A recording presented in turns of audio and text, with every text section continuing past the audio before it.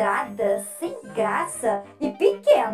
Como assim, Pete? As quadras esportivas são retangulares. Elas têm medidas específicas, proporcionais. Não dá pra ficar inventando o tempo todo, né? Não a minha. Ah, como assim? A sua vai ter um formato totalmente diferente? E eu quero saber qual é o jogo que você vai conseguir jogar nela. O meu jogo é um jogo que eu inventei e é muito maravilhoso.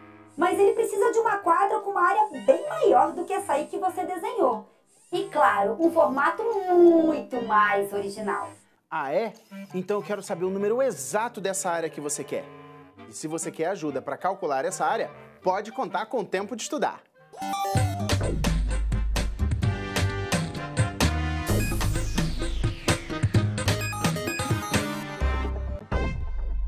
Para calcular a área da quadra da Pitch, primeiro a gente precisa saber que área de uma figura plana é a região determinada pelo seu contorno. Para isso, vamos utilizar essa folha quadriculada que vai nos ajudar a entender o conceito de área.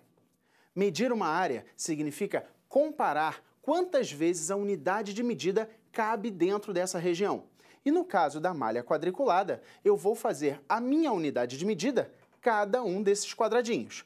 Tá legal? Sendo assim, vamos desenhar uma figura como exemplo. Podemos fazer aqui diversas formas geométricas, utilizando toda essa malha quadriculada, como por exemplo, esse formato. Para calcularmos a área dessa região, basta contarmos quantas vezes a unidade de medida cabe dentro dessa região. Neste caso, 1, 2, 3, 4, 5, 6, 7, 8, 9, 10, 11, 12. Nesse caso, então, essa figura tem 12 quadradinhos de área. Agora, um outro exemplo.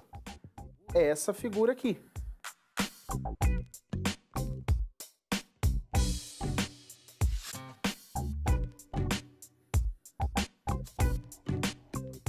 Olha que diferente. A área dessa figura, mais uma vez, significa contar quantos quadradinhos cabem dentro dela. Vamos dar uma olhada. 1, 2, 3, 4, 5, 6, 7, 8, 9, 10, 11, 12, 13. Portanto, essa região tem uma área um pouco maior que a figura anterior. Agora, vamos dar uma olhada na quadra da Pitch. Essa quadra aqui contém dois quadradinhos de área que a gente vai preencher com essa tinta verde. Já contei quantos quadradinhos tem na quadra que você desenhou. Dois. Eu quero uma quadra com sete de área. Então a gente vai ter que contar de novo só que agora com o pessoal que está assistindo a gente. Eu reproduzi o projeto da casa utilizando essa malha quadriculada e essas peças em EVA. Aqui está o projeto da quadra da Pit, que contém apenas dois quadradinhos de área. Muito pequeno. Então, a gente vai ter que fazer uma área maior. A Pit pediu uma quadra com sete unidades de área e vamos utilizar esse quadradinho como a minha nova unidade de medida. Ótimo. Vamos fazer então uma quadra bem diferente, né? Uhum.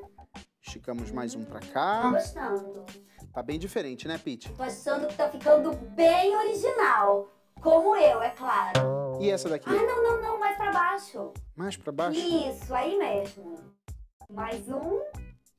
E agora? Projeto aprovado? Ah, provadíssimo! Arrasou, Heitor! Mas é claro, graças à minha ajuda.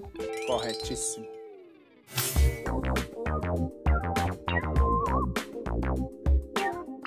Você já viu aquele vídeo que rola na internet há muito tempo da barra de chocolate infinita? Aquilo certamente é um truque. Positivo ou negativo? Positivo. É claro que não existe uma barra infinita de chocolate. Infelizmente. E eu vou explicar para vocês como é que esse truque funciona.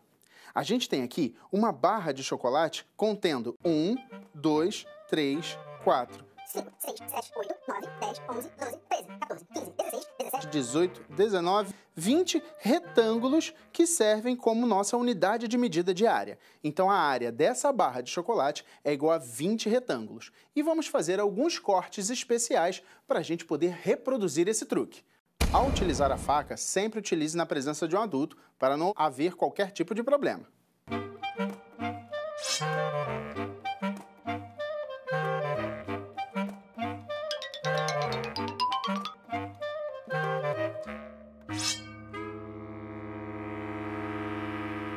Esse retângulo eu destaco que não é cenográfico. Olha, hum, é gostoso.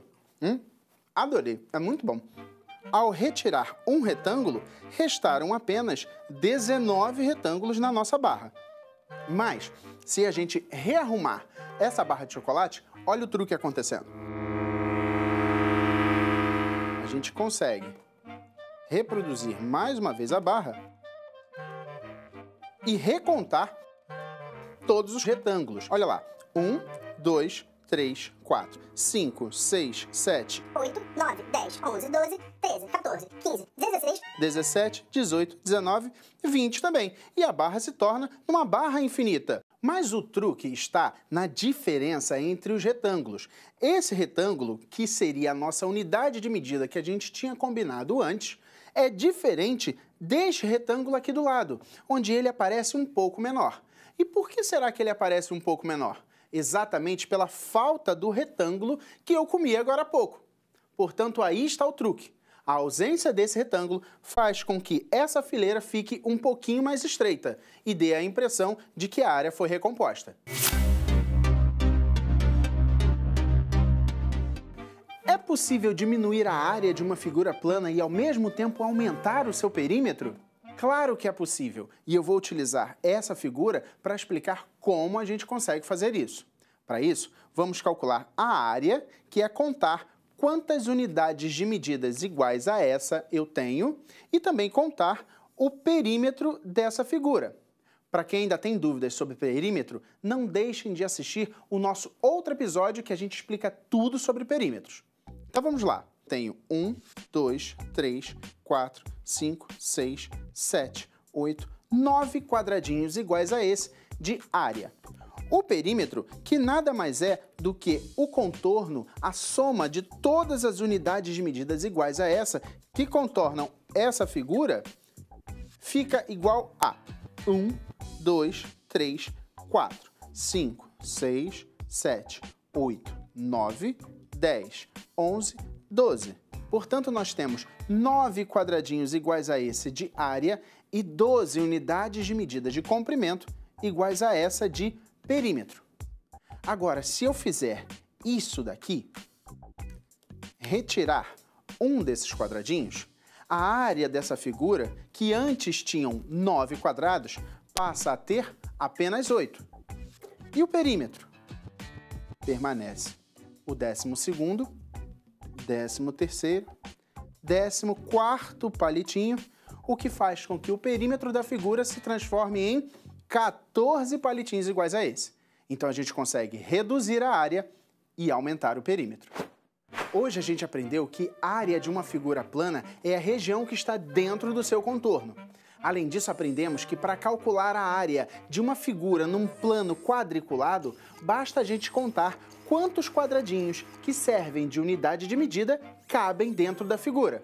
Tá, tá bom, mas o que eu quero saber agora é quando a minha quadra fica pronta. Aí você vai ter que ver com o pessoal da obra. A minha parte eu já fiz. Agora eu só apareço na hora do churrasco de inauguração. pessoal, a gente se vê no próximo programa. Conta com a gente. Olha só, vou te convidar pra inauguração, mas é pra fazer o churrasco. Não vai só comer e beber não, viu? Ih, Pete, bela amiga, você tá me saindo, hein? Tô mesmo, a melhor. Por isso, você tem que retribuir essa amizade maravilhosa sem reclamar, tá bom? Viu, senhor Heitor? Ora, quem disse que eu não sou maravilhosa e linda? A melhor de todas as robôs? É louco. Vamos desenhar uma figura qualquer. Numa figura qualquer, um lápis sem ponta. Adorei, é muito bom. Agora,